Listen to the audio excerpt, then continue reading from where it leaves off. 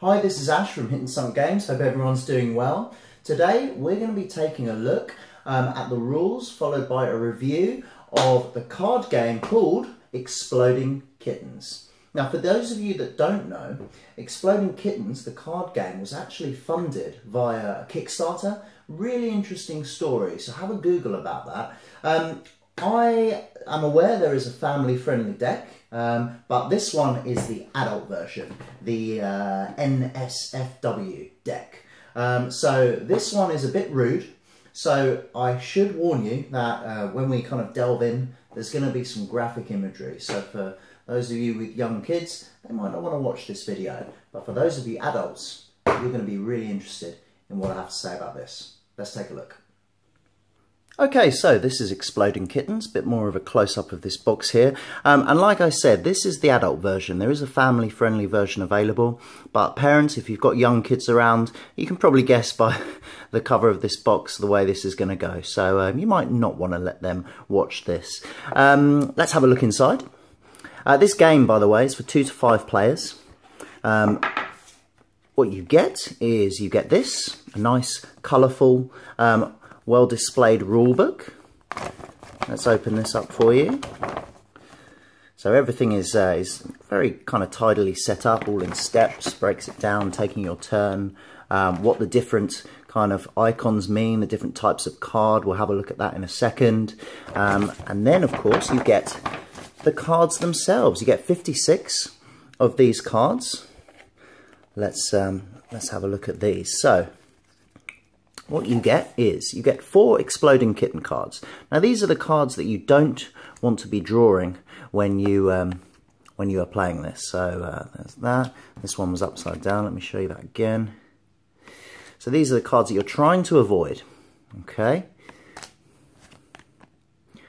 So four exploding kitten cards.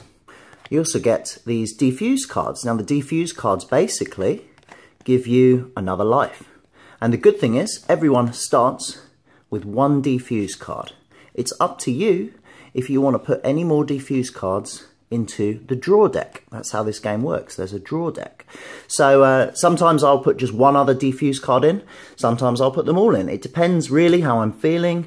Um, depends how many players that I'm playing with. And it's the same with the exploding kitten cards. You could just put one exploding kitten card in or you could put all four of them in. You know, um, my advice is to try all the, the different ways you can because it does make the game change um, very, drastically. Um, but uh, yeah, so these are the rest of your cards. Now this is your draw deck. This is the deck that um, uh, everyone will take one card from at the end of your go. So it's not at the start of your go, it's at the end. Um, and what you do, everyone starts with five of these cards. These are shuffled before the, the uh, exploding kitten cards and the defuse cards are put in. So we give these a shuffle, we give everyone five cards, um, and then we put uh, the number of defuse and the number of exploding kit cards you want to play into the deck. Um, and let's have a look about uh, some of these cards. So as I said, you've got an icon um, at the top here. The instructions explain that, but basically the icon dictates what the card is. Um, you get a little funny, uh, funny story at the top here, release the torture bunnies. Um, but this attack card basically forces um, your opponent to take two turns. Um, a skip card, here we go, Let's, what does this say? Play a game of whale boner tetherball. Very nice. Um, what this card lets you do is skip a go. Um, then you've got these types of cards. Now, um, these cards don't have any kind of um, description text at the top. They just have more or less a, a, name of what it is. And these come in pairs. Now, if you get two pairs, you can play them down, uh, and then you get to take one of your um, opponent's cards. Um, you've got this favor card, which basically um, is to take one of your opponent's cards. What does it say at the top? Fall so deeply in love, it gives you both crazy diarrhea. Lovely.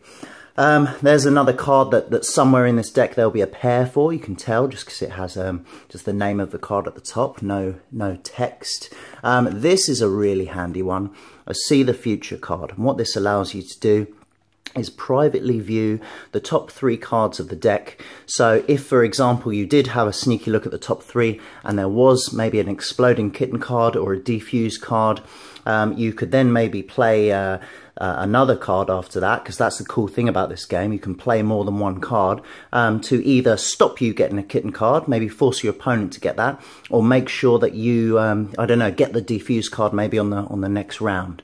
Um, and that is essentially how the game works. And these cards are pretty uh, pretty graphic, as I've already said. They are really really funny though. There's, uh, look at this, uh, whip out your rubber dick collection. Very nice. So as I say, everyone starts with five cards. These are all shuffled. And once everyone has their five cards, the defuse cards and the uh, exploding kitten cards are put into this deck. So let's just pretend I've done that. We'll move those out, pretend they're in there. Um, everyone plays uh, as many cards as they want. Um, and then at the end of their go, they take one card. Now, we don't know what this is. They take it.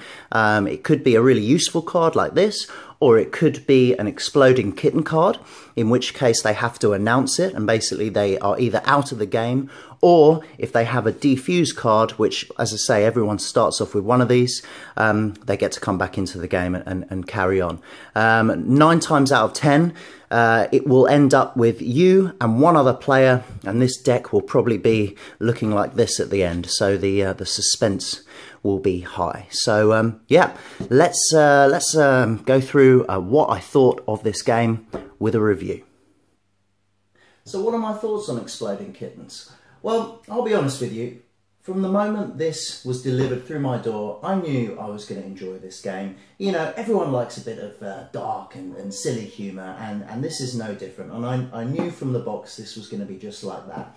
When I opened the box and I started going through the cards, I found them funny. Uh, you know, they're, they're, they're definitely, some of them do cross a line. Um, you know, you need to have a sense of humour for this game. If you're, if, if you're not that way inclined, simply get the family friendly version. You know, that's fine. That's fine to play with kids, but this is definitely aimed more to the adults. Um, I love the artwork on the cards. Uh, you know, uh, this one here makes me laugh. It, um, you know, the uh, the smoke some crack with a baby owl. Does that make, make sense? No, of course it doesn't. Um, let's smoke this rock. You know, this uh, things like that. You see cards like that. You, you can't help but just, you know just find them a bit amusing. So yeah, the the way the cards look great the rules, you know, I like this uh, this little kind of detailed rule book that we've looked at. Um, and, you know, it goes into nice nice detail on things. It's displayed really, really well, I think. It's colourful, it's eye-catching, um, just like the cards. Uh, but, you know, games can look great, but they can play appalling. So how does this play? Well, let me summarise this. It is a really, really simple, simple game to play. The pick up and play value is very, very quick and easy. I've played this game with my lad friends, you know, so this humour has gone down really well. I've played this with my girlfriend, she's enjoyed it. I've even played this with my mum. Now, you have to have a very cool mum to play a game like this, the adult version, with her. Thankfully, my mum is very cool and she found it funny as well. So yeah, the pick up and play value is, is great for everyone. Really quick to learn. Instantly, I would say, you can explain the rules in, in under a minute. It is that, that simple. Um, and yeah, it's a simple, simple game. For those of you that are familiar with the game Uno, it's, you know, it's just like that. You don't want to draw an exploding kitten card. Now, there's a bit of a 50-50 split between strategy and chance. Normally, I am not really a fan of games that rely on chance. It kind of takes away, I don't know, the skill element in it. But um, this is this is kind of a 50-50 split, so I like that. Of course, you know, you don't know what card is going to be next when you draw it. It could be an exploding kitten card, it might not be. That's, that's just chance, that's just luck. But if you have the right cards in your deck, then you can strategically skip a go, make the next player take two turns. If you think or if you know that the exploding kitten is going to be in the next card or maybe the card after that, you know, you can you can shuffle the deck, you know, get away from, from drawing it. Um, that element is great. Of course, you need the right cards in your deck. You don't always have them, so it is a lot of uh, chance and luck. But when you do, you can make sure that you know your opponents, uh, your next player, or even the player after that, end up drawing that exploding kitten card. And when that happens, you know when you set up that kind of uh, rally for them to, to draw the card, it is very, very satisfying. So the summary on this, really quick, simple, easy to pick up game. I'm sure the family-friendly game is is um, is great looking. The rules, of course, are going to be um, identical. There are special combos that the rule uh, leaflet um, goes over that you can add. So you can add those at a later date once you're familiar with the main rules and you can make things a bit more interesting. And you know what? You can even create your own rules. Um, this is one of those games where there is a lot of freedom. Be creative, be imaginative. Um, yeah. So uh, to summarize, you know, um, quick, easy, super fun. I like it a lot. Of, of course, this game is going to be a big hit and I recommend you get it.